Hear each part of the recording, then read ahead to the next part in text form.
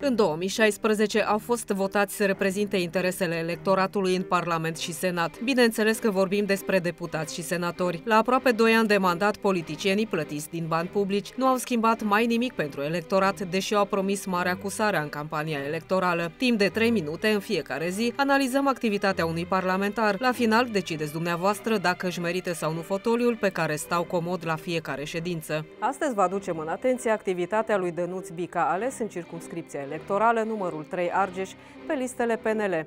Este membru al Comisiei pentru Industrii și Servicii și al Comisiei pentru Afaceri Europene. Se află la primul său mandat. Înainte să fie ales parlamentar, a avut diverse funcții. Consilier județean, consilier local, șef serviciu, inginer și director tehnic la Apă Canal Pitești. Activitatea lui Dănuț Bica este la nivel mediu dacă facem comparație cu alți parlamentari. Iată ce spun datele oficiale de pe site-ul Camerei Deputaților. 36 de luări de cuvânt, 27 de declarații politice, 109 întrebări și interpelări, 79 de propuneri de legi inițiate și 18 moțiuni. Durata totală a luărilor de cuvânt este de 29 de minute și 51 de secunde. Una dintre problemele ridicate de Dănuț Bica este oprirea exportului de lemne de foc. Am cerut să suspende exportul de lemne de foc pentru o perioadă de 3 ani.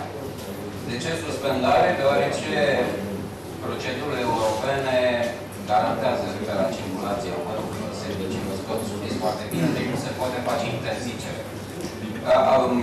Proiectul nostru a pornit de la faptul că în România cam 60% dintre gospodării sunt încălzite cu lemn de foc. Una dintre sarcinile obligatorii ale parlamentarilor este participarea la vot. Deputatul PNL Argeș a avut până în prezent 3191 de voturi. Aceasta înseamnă că prezența sa la votul electronic este de 90%. Pentru munca prestată în Parlament, Dănuț Bica este remunerat lunar cu 10.003 lei. Cea mai recentă luare de cuvânt este din luna octombrie, când a adus în atenție situația financiară a veteranilor de război.